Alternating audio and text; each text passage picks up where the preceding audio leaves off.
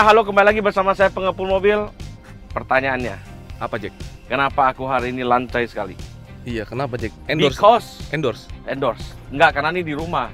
Oh. Jadi kita style pengepul lebih pengepul lagi. Jadi ini adalah Mazda RX-7 FC3S kebanggaan dari pengepul mobil. yang di mana?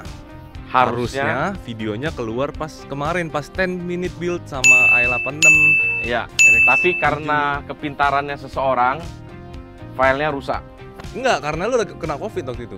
Aku nggak nggak kena covid sebelumnya udah syuting. Oh, mic-nya rusak. Nih kau rusak yang 32.000 itu, ya. Iya. Jadi ini kita adalah Mazda RX-7 FC3S. Pasti bilang, "Bang, kurang body kit yang di depannya." Betul, Lips ya. lips. Lipsnya belum kita pasang. Karena kan kita masih mau finishing wet look ya ini ya. Oh. Belum poles. Jadi mobil ini belum dipoles sama Mas Faris. Nanti kita akan kita poles sama Mas Faris wave guide. Tentunya detailing oleh Autonet Cibubur. Finishingnya sama Bang Faris. Terus yang di bagian lampu, yang bezelnya sudah datang juga. Eh, frame dalamnya itu ya. Frame dalamnya akhirnya udah datang. Jadi mobil ini udah termasuk komplit. Lu cop dapat dari mana? Pak Petani lu copotin. Eh, Pak Petani kayaknya mobilnya juga nggak lengkap ya. Jadi dia lengkap, lengkap dia. Lengkap punya dia. Lengkap. Tapi lebih cantik punya aku. Ya jauh.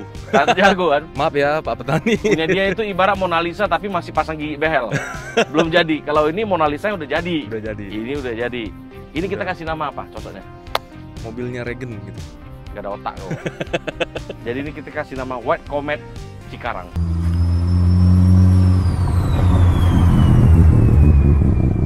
Oh iya, White Comet. White From- Comet pengepul. White Comet pengepul. White Comet pengepul. Oke? Harusnya kan White Comet from Akagi ya. Iya, kita lihat dulu bagian luar. Nah, jadi mobil ini kita finishing, kita cat dengan warna super white. Super white masuk, sap di bagian velg depan. Bang, kok nggak dari bumper dulu? Suka-suka aku lah. Iya. Ngapain kau atur-atur aku? ya, di bagian velg kita pakai Mazda Speed. Ini adalah termasuk velg yang rare yang pernah dipakai Mazda Speed di Nürburgring. Hmm. Eh, Nürburgring atau balap Le Mans? Itu gua nggak tahu lah ya Ya, ya, ya. balap GP atau apalah gitu. Nanti coba teman-teman bantu searching. Maklum, kurang otaknya kurang Kan refresh. otak lu bukan Google. Iya otak gue bukan Google juga Hmm. dan saya memang kurang agak kurang paham di velg. Nah ini kita remnya pakai AP Racing. AP Racing 4 port. Kenapa nggak terlalu gede supaya kita sesuaikan dengan fitmentnya. Apalagi ini mobil JDM 19 sih ya kita ngomong ya. Tahun 90-an, nggak usah terlalu besar-besar, nggak usah lebay-lebay lah kita bilang. Sesuai dengan tahunnya, period correct. Nah kalau ini juga sama. Ini agak kotor sedikit karena sering disarungin. Maaf, karena kita garasi belum jadi. Iya. Tapi akhir tahun udah jadi garasi kami, mobil kami kinclong semua nanti. Wih, deh mantap. Ya, ini spion Armagic, terus udah di custom juga, udah kita rapiin juga. Jadi awalnya dapat tuh ada retak-retaknya sedikit. Sengaja kita pakai begini, udah kita rapiin juga. Kacanya, kaca cermin yang kita custom. Oh, cermin. Karena kemarin pengirimannya cerminnya patah. Hmm.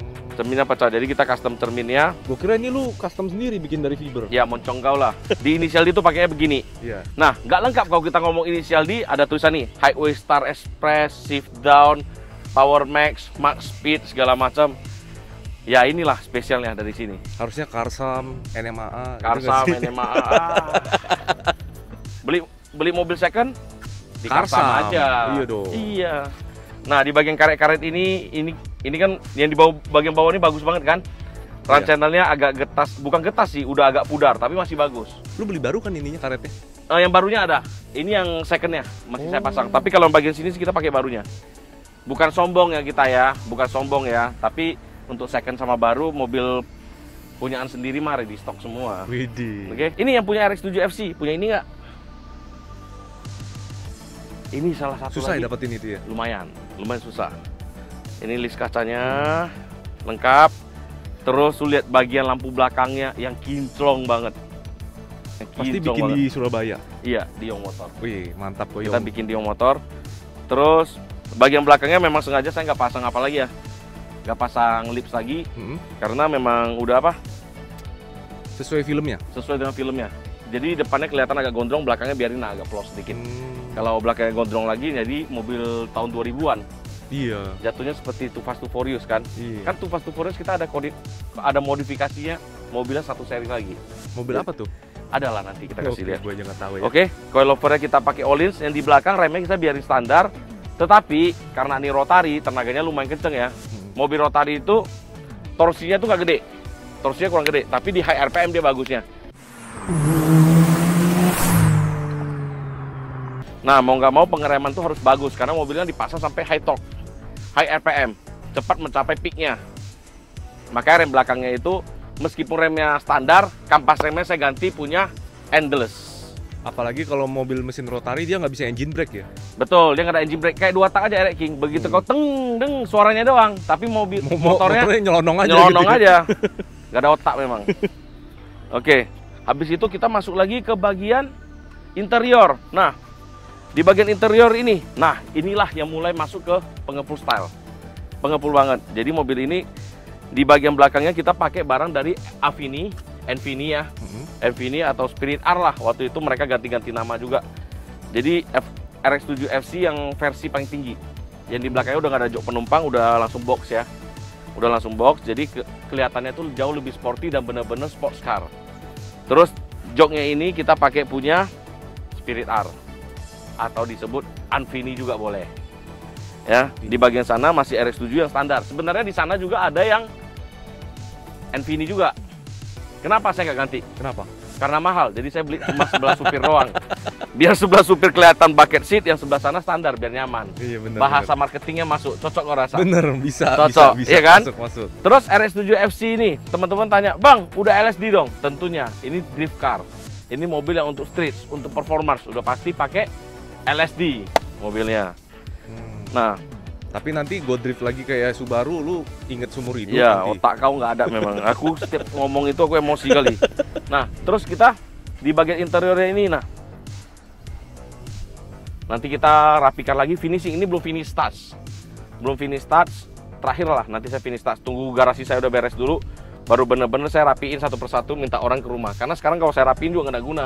Iya juga. Karena kita taruh kan masih di garasi, terus masih disarung-sarungin kan, belum Hmm. proper. Jadi saya impian tuh pengen punya garasi satu yang semuanya kaca full AC, jadi mobilnya nggak dikerudungin. Bener banget. Itulah impian saya. anti jamur-jamur ya. Ya, semoga tercapai di tahun ini. Amin. Gitu, ya kan? Terus di mobil ini modifikasi apalagi di bagian dashboardnya. Nah, dashboardnya saya biarin standar, cuma ini kemarin sempat dilapis oleh leather. Kita pakai leather. Leathernya agak tebal. Nanti kita cutting nih. Kita cutting supaya ini bisa masuk. Ini kurang masuk nih Regen. Jadi nggak ada sambungan nanti ya. Iya, nanti gak ada sambungan terus yang di bagian tengah ini kan retak tuh. Mm-mm. Itu udah ada barunya. Nanti tinggal pasang aja. Hmm. Nah, terus tanya, Bang, pengepul kok tumben kali ini kok pakai dash kayak AIM, seperti AIM? Ya karena ini rotari, eh, udah pakai EPS pula, udah pakai apa itu? DBW, udah pakai DBW, udah pakai pedal box, ya udah kita ikutin kekinian kata Om Togi. Jadi kita bisa launch control, bisa flat shift, ya udah semua. Dan saya nggak suka tuh ada indikator. Indikator banyak-banyak itu saya nggak mau sama gouge. gouge. gouge itu saya nggak suka saya bilang sama Om Togi. Ya udah kata Om Togi udah kita pakai satu satu dash aja yang AIM ini ini udah bisa memonitor semuanya dan sudah ada warning. Ya udah kita pilihlah ini. Lebih praktis ya. lebih jauh lebih praktis. Dan pedal boxnya. Pedal boxnya dari GR Racing custom bagus gak bang bagus kalau dipakai di track ini ambigo nih kalau dipakai buat harian kurang kurang. kurang karena satu eh, kecuali dia top mount ya Top mount tuh gimana? yang di bagian atas yang gantung Oh, yang gantung yang kayak ini kita punya kan floor mount. Jadi pas koplingnya itu harusnya kopling ringan jadi berat. Gitu dan pengeremannya tuh agak kurang lah kalau menurut saya. Mm-mm. Tapi nanti setelah ini habis di event udah saya rapiin semua ini kan baut-baut kan belum saya plating-platingin nih. Oh, mau plating lagi. Mau saya plating ulang pintu-pintu ini nanti tapi tunggu garasi saya udah jadi saya bener-bener rapiin mobil ini. Bagi orang mungkin udah rapi ya. Bagi saya masih nggak enak di mata nih ada yang berkarat-berkarat. Hmm. Bautnya bukan apanya, bautnya Bautnya. doang. Nanti kita rapiin. Pedalnya saya akan balikin ke standar. Oh, pedalnya saya akan balikin standar jadi bisa seperti Subaru saya pakai bisa pakai bisa seperti kota. FD kita bisa keluar kota impian setuju nggak sih teman-teman? Cuma ya dik kekurangannya di sini ya. Tapi kelebihan dari pedal box ini apa? Kita lihat di bagian engine bay. Ini bisa saran modifikasi juga buat teman. Keren loh RX7 FC itu keren loh. Iya. nggak lupa juga ini setirnya kita volanti. Pelan. ya Terus kan? itunya eh, dashboard yang bagian audio tuh masih kinclong banget lu beli baru apa gimana itu? Yang di bagian audio Mm-mm. nggak bawaan dia Oh. nah jelek-jelek mobil ini pakai GPS 08 jadi bisa apa tuh? nggak usah pakai tali speedometer lagi dia udah menggunakan eh, kecepatan dari GPS. Oh. Gitu. Terus katanya bisa tuning dari jarak jauh, bener gak sih? bisa tuning dari jarak jauh. Misalnya kalau di track itu ada track editing namanya. Hmm. Entah track apalah namanya, gue asal ngomong tadi gitu. Intinya lu ngeditnya Yang bisa kayak di moto di MotoGP lah. Ada Rossi posisi ke mana, dia posisi dia angkat throttle, Oh gitu. posisi dia ngerem lah. Udah ada di mobil udah disiapkan semuanya.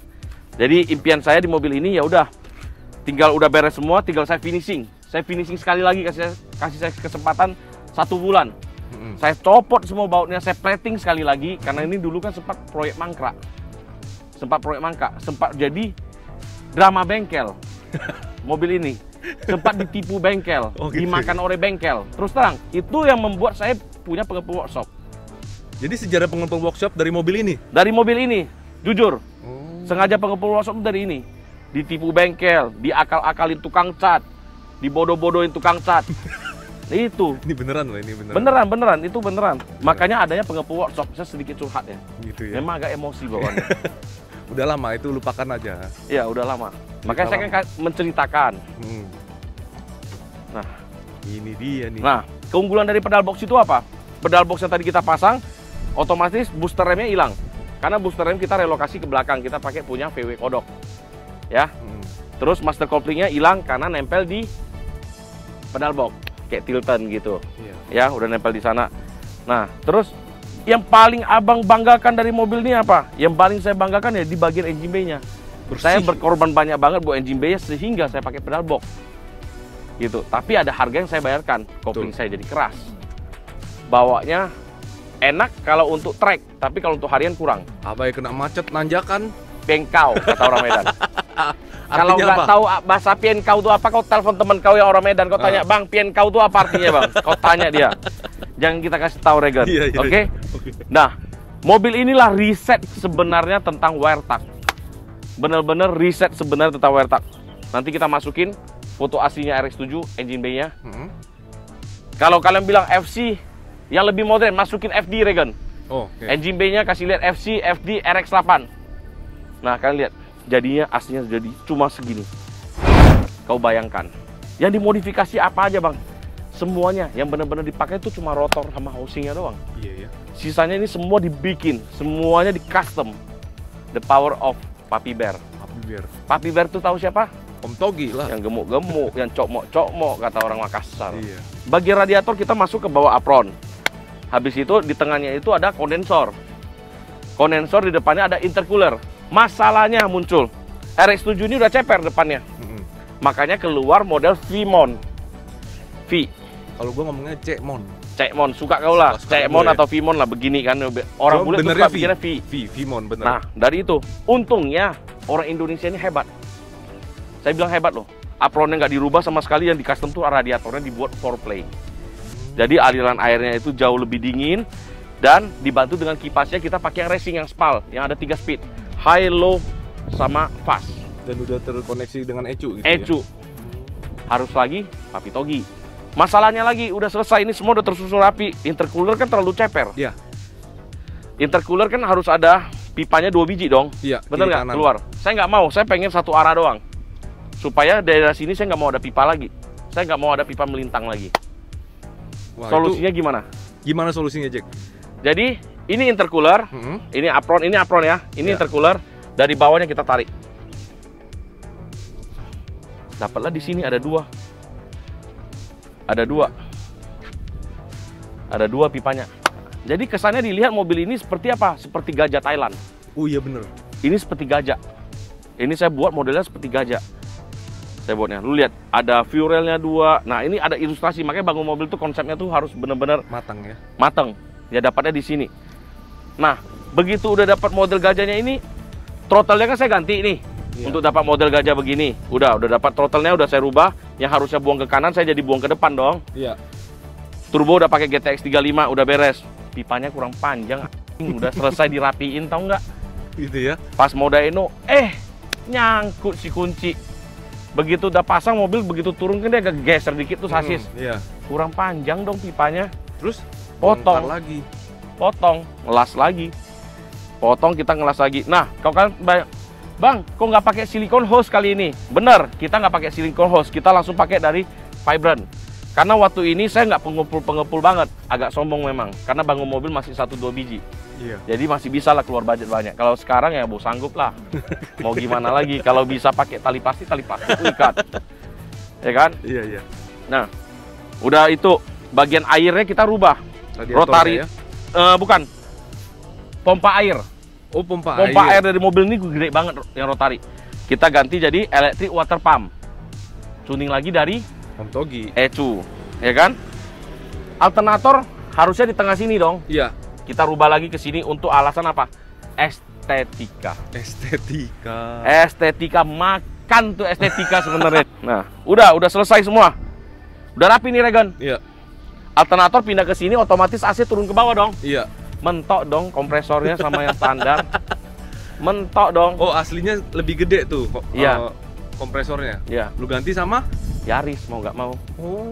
Ganti Yaris. Makanya tadi kau bawa AC-nya lebih dingin daripada punya i86. Iya. Itu. Pantesan. Udah. Tapi begitu dia pindahin ke bawah, kekurangannya apa? Ada lagi. Ada lagi, Set. belum beres sampai sana, sana biar kau tahu ya. Di tengah ini beltnya jadi dua. Nih, kau lihat nih. Iya. Ada bekas-bekas belt. Nah, bagian pulinya ini. Jadi pulinya masih saya custom yang besi. Kenapa? Makanya saya bilang setelah mobil ini jadi mau saya rapikan lagi karena ini udah ada setelan yang pasnya semua. Nanti pulinya saya mau bikin dari bilet. Oh. Bikin dari bilet supaya dia tidak mengikis tali beltnya lagi, nggak ngurangin tali beltnya lagi. Nah, itulah kekurangannya. Berarti kayak awal lu bilang ya, kayak ini masih prototipenya. Prototipenya rotari ini bener-bener trial errornya di mobil ini. Mm-mm. Jadi kalau teman-teman bilang, bang, aku punya rotari mau bangun, pitching coy, pitching. Makanya kemarin RX7 pecah mesin gimana kita? ya Oh, aja. pecah. Wih. Udah gitu doang. Oh, pecah. gitu doang. Karena kita udah alamin semua. Sama halnya dengan dua jejet di garasi drift. Mereka pecah. Paling bilang apa? Oh ya udah kan masih ada lagi. Nah, udah gitu doang. Gitu doang. Kalau di pengepul mobil ya begitu jawabnya. Iya, iya. Rotari, EJ20 Subaru, ah udah biasa lah. Asik. gitu. Masuk masuk. Nah, terus di bagian throttle-nya kita nggak pakai tali gas lagi, sombong. DBW ya. Kita pakai DBW, drive by wire. Memang masih agak kotor karena belum kita rapiin ya. Ulang-ulang saya kasih tahu. Bagi kalian mungkin rapi, bagi saya belum masuk ya. Ini belum kita rapiin banget. Eh, DBW-nya kita pakai dari E30 eh E36 M3 nggak salah. Hmm. E36 M3 itu saran dari Papi Togi dan wiring semua full by Papi Togi. Udah. Terus bagian coil. Coil kemarin saya pikiran saya kita kalau pakai racing apinya terlalu gede karena kita campuran dari atas. Betul. Terlalu cepat ah, bensinnya habis kebakar daripada olinya. Oh, Oli yang berbekas itu menjadikan kerak. Bagaimana lu harus stabilin semuanya? gimana caranya? Pusing nggak lu? Iya. Pakai punya RX8. Jadi coil ini coil RX8. Coil RX8 bawaan pabriknya. Apinya dia bisa nyesuaiin. Oh, Masuk RX8, ya kan? Begitu masuk RX8, kabel businya pus pecah lah kepala kita. Hmm. RX8 kabel businya panjang banget. Kita beli NGK 2 biji, kita potong-potong, masukin, jadi.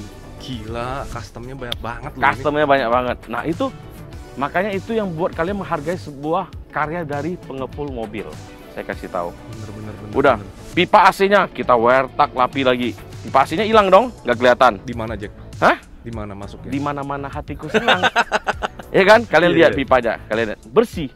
Bukan hanya sekedar oh mesin di tengah harus tahu basicnya apa. Ya kan? Hmm. Kalau 4AG gampang lah. Kalau B series Honda harusnya harusnya susah tapi sudah banyak yang melakukannya. Ini pionir. Saya bukan bilang saya hebat ya, Hmm. tapi memang saya jago gitu loh.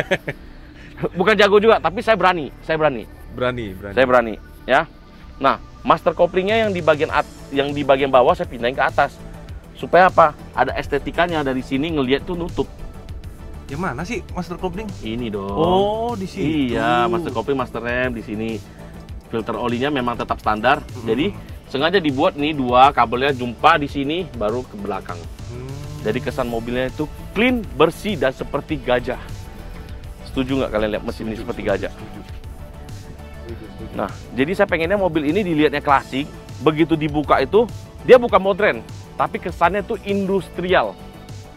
Saya pengen mobilnya ini industrial dan warnanya monokrom. Hmm. Jadilah ini. Keren nggak? Keren, keren, keren. Dukung aku buat pilkada ke depan ini. Kok pilkada jadinya? bukan pilkada ya? Salah, Pak. Salah, oke. Ya. Itu ibarat sedikit lah emosi atau emosi atau apa ya? Idealis dari gua di mesin. Berarti lu udah mencurahkan 80% ke mobil ini. 20% 90% Regen. Oh, 90%. 90%. Sisanya tinggal finishing yang tadi itu Turbo ya? pertama kali saya beli baru di Ini? mobil ini. Oh, Blow off pertama kali saya beli baru dan mahal tuh ini tile. emang yang lain gimana emang? Yang lain kan pakai second semua Regen. semua pakai second. Di mobil inilah kita pakai baru. EPS-nya, makanya saya bawa mobil ini tuh wah nyaman. Tapi karena dia belum finishing sampai bener-bener finishing, karetnya belum ganti baru semua. Hmm? Meskipun udah ada, makanya saya agak jarang bawa ini. Kenapa? Kalau saya bawa pasti saya gatel, pengen cepet-cepet saya ganti. Makanya saya Betul. suka minta, udah Regen lu yang bawa aja deh. Iya. Tapi kalau mobil yang bener-bener udah rapi kayak Subaru gua, Hmm. AE86, kan kebanyakan gue yang bawa sendiri kan. Iya. RS7 FD. Nah ini karena belum finish, belum 100% finish. Ya gue maksudnya jangan ngerusak feel gue sama dia. Betul. Mending gue nggak usah ngerasain dulu sampai bener-bener udah beres baru gue rasain. Kalian punya hak, kalian sampai punya rasa begitu nggak? Nah itu. Jadi di pengepul mobil tuh cuma ada 6 mobil yang nggak boleh dijual. Cuma 6 doang nggak boleh dijual. Baru gue mau nanya, kirain lu udah kalau udah 100% lu jual. Enggak. Enggak ya? Cuma ada 6 mobil doang yang nggak boleh jual. Satu, AE86, dua, RS7 FC ini, tiga.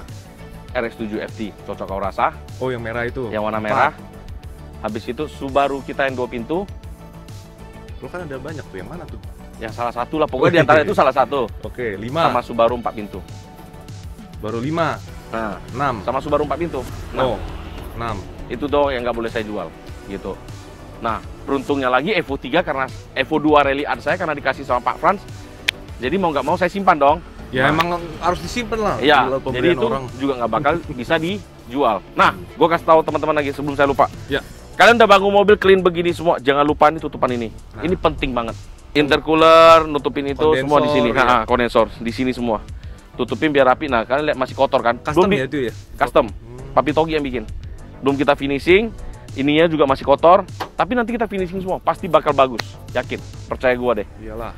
Sebenarnya mobil ini kalau ikut IMX, gue tinggal butuh waktu satu minggu, gue pretelin semua, jadi IMX. Tapi buat apa? Buat apa kau kejar itu? Hmm. Kita kerja pas offline, jadi teman-teman bisa nikmatin semua. Betul bang. Semua orang bisa datang lihat, us, ini pengepul bro, ini Jackie bro. Iya, orang-orang teman-teman offline bisa foto di atas cupnya, mau di dalam, mau Iya. di atas mobilnya bisa. Iya, ya. habis itu otaknya aku masukin ke dalam turbo nanti. Oke, Oke, jadi sekian aja tentang ini. Sampai di sini saja, cocok kau rasa. cocok. Durasinya udah panjang, kau Mm. nggak nonton sampai habis, aku tampar moncong kalian semua. Udah capek aku berkeluar-keluar. iya iya iya. Ya kan, Masuk, ini paling masuk. banyak aku berkeluar-keluar kenapa? Ya mobil ini yang paling gue bangun dari nol. Gue Emang. paling tahu mobil ini. Karena dari sasis kan. Hmm. Dari sasis kena tipu, kena bodohin orang, sampai punya bengkel sendiri. Habis itu kita nggak bodohin orang, kita bangun mobil buat orang. Sampai mobil sendiri nggak keurus, sedih kali memang. Apalagi mobil yang ada tuh yang namanya kameramen itu yang Seviro itu kagak keluar. gila. Oh. Mobil aku sendiri aja nggak kecet-cet, kau nggak lihat? Oh iya juga ya. Mobil aku aja nggak kecet, kau mau banyak cerita lagi. Iya iya iya. Oke, mobil Oke. aku yang dikerjain kan itu yang ada berhubungan dengan konten, ada berhubungan dengan battle. Iya dong. Yang gak berhubungan dengan battle, Subaru dua pintu aku emang kelar. Iya juga ya. Nah gitu aja. Iya, Oke, siap, sampai di siap. sini saja kita lanjut lagi next vlog. Pengepul with, with passion.